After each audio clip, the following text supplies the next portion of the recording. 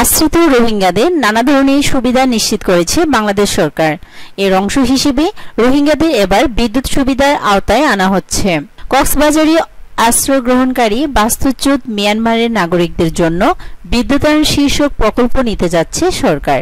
পরিকল্পনা কমিশনে প্রস্তাবটি পাঠিয়েছে বাংলাদেশ পল্লী বিদ্যুতায়ন বোর্ড। এটি বাস্তবায়নে এশীয় উন্নয়ন ব্যাংক আর্থিক সহায়তা দেবে। কক্সবাজার জেলার টেকনাফ ও উখিয়া উপজেলায় প্রকল্পটি বাস্তবায়নের মধ্য দিয়ে প্রথম পর্যায়ে রোহিঙ্গাদের বিদ্যুৎ সংযোগ দেয়া হবে। পরিকল্পনা কমিশনের এক দায়িত্বশীল কর্মকর্তা জানান, অনুমোদন প্রক্রিয়ার অংশ হিসেবে পাঁচ সেপ্টেম্বর প্রকল্প মূল্যায়ন কমিটির সভা অনুষ্ঠিত হয়। বিভিন্ন সুপারিশ দিয়ে প্রকল্প প্রস্তাবটি ফেরত দেওয়া হয়েছে। তিনি জানান, তবে শীঘ্রই সংশোধিত উন্নয়ন প্রকল্প প্রস্তাব পরিকল্পনা কমিশনে পাঠানো হবে। জরুরি প্রকল্প হিসেবে এটি দ্রুত অনুমোদন করা হবে বলেও তিনি জানান। জানা গেছে, প্রকল্পটি বাস্তবায়নে আটানব্বই কোটি একত্রিশ লাখ টাকা ব্যয় হবে। এর মধ্যে অনুদান হিসেবে এডিবি দেবে একাশি কোটি তিয়াত্তর লাখ টাকা। এছাড়া সরকারের নিজস্ব তহবিল থেকে চোদ্দ কোটি চুয়াত্তর লাখ টাকা এবং বাস্তবায়নকারী সংস্থা বাংলাদেশ পল্লী বিদ্যুতায়ন বোর্ডের নিজস্ব তহবিল থেকে এক কোটি চব্বিশ লাখ টাকা ব্যয় করা হবে। প্রকল্পটি বাস্তবায়নে চার কোটি ছাব্বিশ লাখ টাকা পরামর্শকের পকেটে যাবে। এ খাতে ব্যয় নিয়ে প্রশ্ন উত্থাপন করা হলেও শেষ পর্যন্ত ব্যয় কমাতে পারেনি পরিকল্পনা কমিশন। এ প্রসঙ্গে জানতে চাইলে পল্লী বিদ্যুতায়ন বোর্ডের নাম প্রকাশে অনিচ্ছুক এক কর্মকর্তা যুগান্তরকে বলেন, এডিবির অনুদান সহায়তায় যে কয়েকটি কম্পোনেন্ট বাস্তবায়িত হবে, তার সবগুলোতে একই পরামর্শ কাজ করবেন।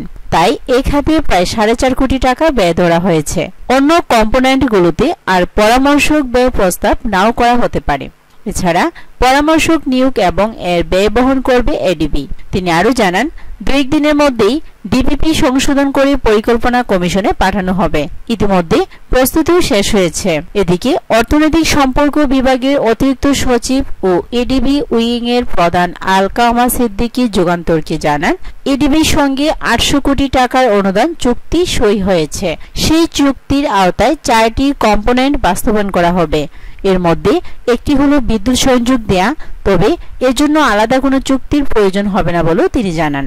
পিএসসি সভা সূত্র জানায়, পরামর্শক সেবা বাবদ বাহাত্তর জনমানুষের জন্য চার কোটি ছাব্বিশ লাখ টাকা রাখা হয়েছে। এর মধ্যে সরকারি তহবিলের একাত্তর লাখ টাকা এবং এডিবির অনুদান থেকে তিন কোটি পঞ্চান্ন লাখ টাকার সংস্থান রাখা হয়েছে। প্রস্তাবিত প্রকল্পের আওতায় পঞ্চাশ কিলোমিটার বৈদ্যুতিক লাইন নির্মাণ একটি তেত্রিশ বাই এগারো কেবি সাব স্টেশন স্থাপন, দুইশোটি গ্রিড সংযুক্ত স্ট্রিট লাইন স্থাপন, গৃহস্থালিতে বিদ্যুৎ সুবিধা দিতে পঞ্চাশটি নেনোগ্রিড সৌরবিদ্যুৎ ব্যবস্থা স্থাপন, চারশোটি সৌরবিদ্যুৎ চালিত বিশ ওয়াট ক্ষমতার এলইডি লাইট স্থাপন, সত্তর হাজার উন্নত চুলা বিতরণ করা। এছাড়া বিদ্যমান চব্বিশ বা একচল্লিশ এমবিএ পাওয়ার ট্রান্সফরমারকে আশি বা একশো বিশ এমবিএ ট্রান্সফরমারের মাধ্যমে প্রতিস্থাপন করা এবং একসেট ক্যাপাসিটর ব্যাংক স্থাপন করা। প্রকল্পের প্রস্তাবনায় বলা হয়, দুই হাজার সতেরো সালের পঁচিশ আগস্টের পর মাত্র চার সপ্তাহের মধ্যে প্রায় চার লাখ পঁচিশ হাজার রোহিঙ্গা নিজেদের গড় ভারী ও সম্পত্তি হারিয়ে জীবন বাঁচাতে উখিয়া ও টেকনাফে আশ্রয় নিয়েছে। দুই হাজার আঠারো সালের তিরিশ মে পর্যন্ত প্রায় ছয় লাখ বিরানব্বই হাজার বাস্তুচ্যুত রোহিঙ্গা বাংলাদেশে প্রবেশ করে। এছাড়া দু হাজার নয় থেকে দুই সালের মধ্যে বিভিন্ন ইস্যুতে প্রায় তিন লাখ রোহিঙ্গা এদেশে প্রবেশ করে। সব মিলিয়ে আশ্রিত রোহিঙ্গাদের সংখ্যা প্রায় দশ লাখ। এসব আশ্রিত মানুষের জীবনমান উন্নয়নে বাংলাদেশ সরকার সহায়তার হাত বাড়িয়ে দিয়েছে। এই জনগোষ্ঠীর বহুমাত্রিক চাহিদা পূরণ এবং জীবনমান উন্নয়নে বাংলাদেশ সরকার বিভিন্ন উন্নয়ন সহযোগী সংস্থার সহযোগিতায় নানা পদক্ষেপ গ্রহণ করেছে। এসব মানুষের মৌলিক অবকাঠামোগত এবং অপরিহার্য সেবা দেওয়ার জন্য অর্থায়নে বাংলাদেশ সরকারের পক্ষ থেকে এডিবির প্রতি অনুরোধ জানানো হয়।